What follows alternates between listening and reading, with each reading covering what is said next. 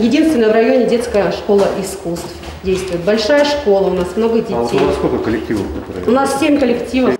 Семь коллективов на полторы тысячи человек в Галухе буквально живут творчеством. Играют на баянах, аккордеонах и поют. Зоя Фоменко со своей девичьей группой на сцене 26 лет. Говорит, пение спасает ей жизнь. Я не могла дышать. У меня коронарные сосуды, эти самые, не работают клапана. И я лежала в депрессии. А потом встала говорю, нет, я пойду.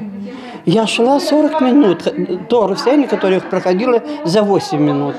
Я пришла, попела, и я только четыре раза потом на обратном пути отдохнула. И сказала, больше я со сцены не уйду.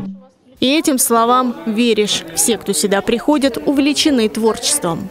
Он раритетный похож. Да, он и, да, он и есть раритетный. Потому что здесь был такой пол, что можно было ноги сломать. Дом культуры Галухи находится в здании сельсовета. Жители сами ремонтируют полы и стены.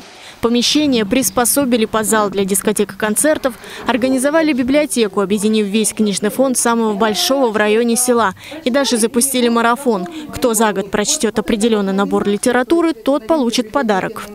Одна женщина мне рассказывала недавно, она говорит, я в труду Гюго не читала. А раз задание, нужно его прочитать, и за это начисляются баллы. Приз победителю – книга. Какая пока сюрприз. Спонсоров марафона нет, но библиотекарь готова сама поощрять любителей чтения. У жителей Галухи есть давняя мечта – настоящий дом культуры. Его начинали возводить в 90-е, но заморозили. В 2012-м он мог попасть в программу 80 на 80, но опять не вышло. Теперь жители Галухи решили проявить настойчивость, добиваться строительства ДК. И не только для себя. В Заринском районе нет районного центра, следовательно, нет районного дома культуры. ДК в Галухе может взять на себя функции районного культурного центра.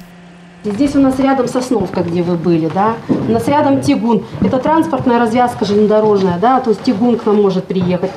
С просьбой поддержать проект жители обратились к депутату Госдумы Александру Прокопьеву. С точки зрения здравого смысла строительство Дома культуры в э, селе Галуха э, оправдано. И я считаю, что это правильная инициатива. Буду ее поддерживать во всех министерствах и ведомствах, от которых зависит это решение. По словам местных депутатов, строительство районного ДК в Галухе поддерживает 90% населения. Первый шаг на этом пути – проект, а дальше рассчитывает войти в госпрограмму. Общими усилиями, уверены жители, Дом культуры должен появиться.